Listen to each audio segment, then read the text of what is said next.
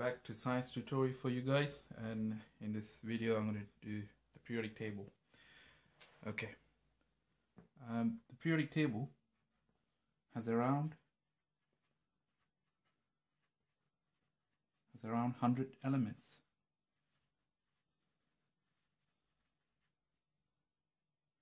And these 100 elements are arranged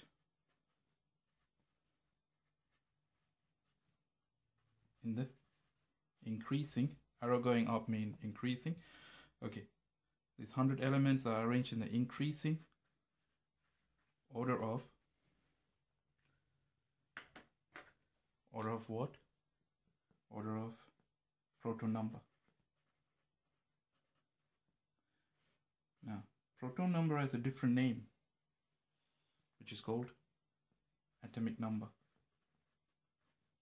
so atomic number means the number of protons or can be also the number of electrons in an atom.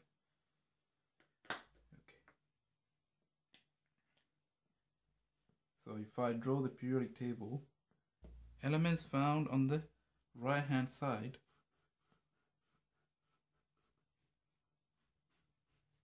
are non-metals. So the shaded parts on the right, these are non-metals.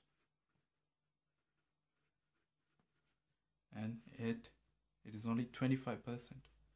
So 25% of the element of the periodic tables are non-metals and they are found on the right. Okay, so what about these one, the non-shaded part? These are the metal and it's 75% and it's found on the left, well, the middle and left.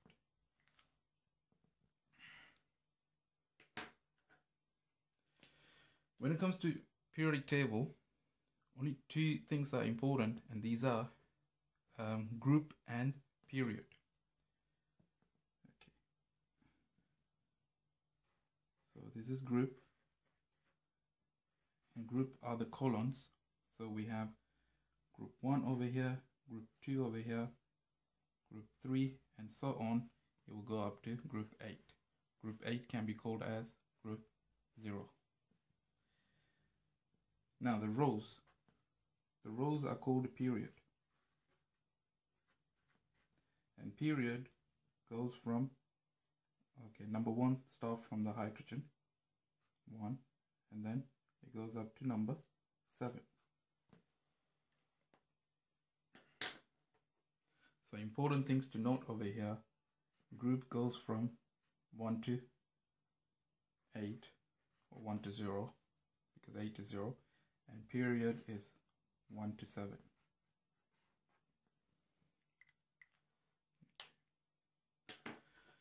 Now, the elements in the middle of the periodic tables are metals and they have a special name. It's called transition element or transition metals because they are metals and transition metals or elements are found are found between group between group 2 and group 3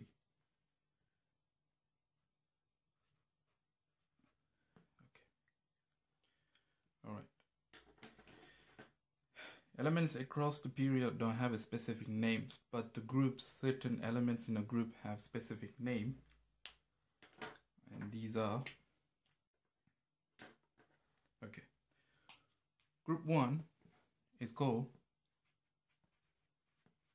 alkali metals.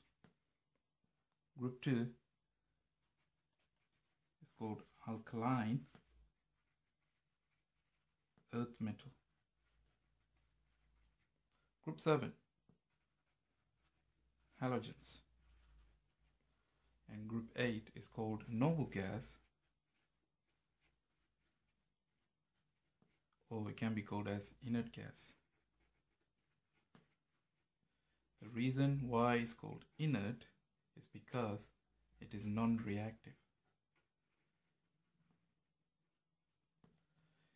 Why is it non-reactive? It's because it has full outer shell of electrons.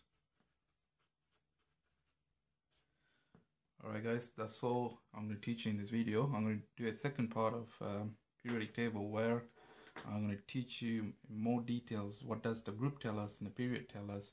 And I'm going to also explain you the atomic number and the mass number. Okay guys, thank you. Please don't forget to subscribe.